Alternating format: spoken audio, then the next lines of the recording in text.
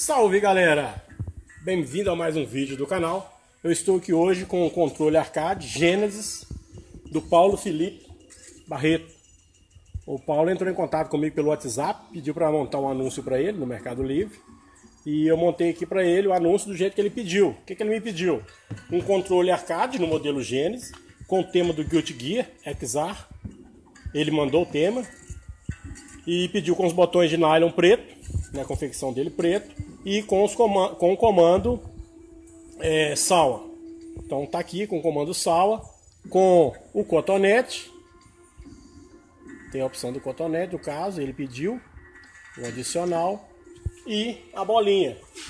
Ou seja, ele vai poder jogar ele tanto com a bolinha quanto com o cotonete aí, ó. Questão de costume e gosto mesmo.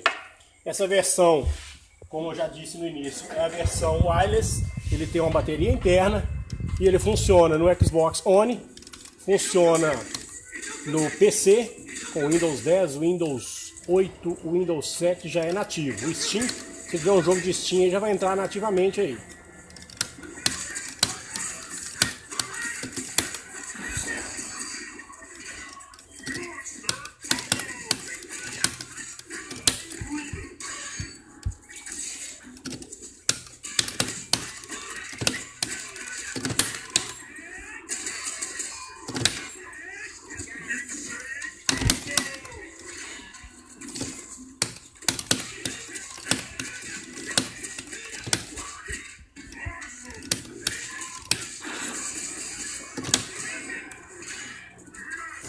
Fico entusiasmado aqui e acabo agarrando um pouquinho.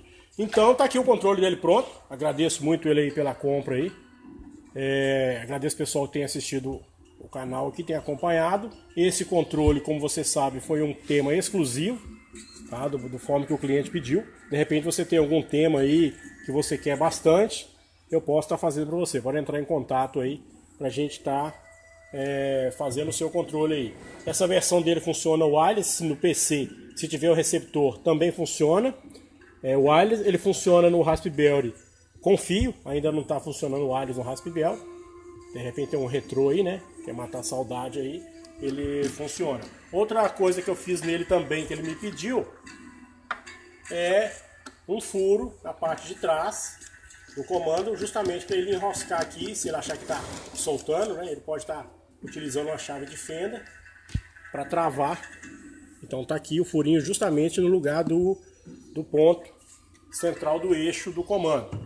Então ele vai, quiser transportar, quiser apertar bem, ele pode colocar uma chave de fenda sem precisar ficar desmanchando o controle. Bom galera, é isso aí. Fico por aqui. Aquele abraço, o pessoal tem acompanhado o canal aí. Valeu!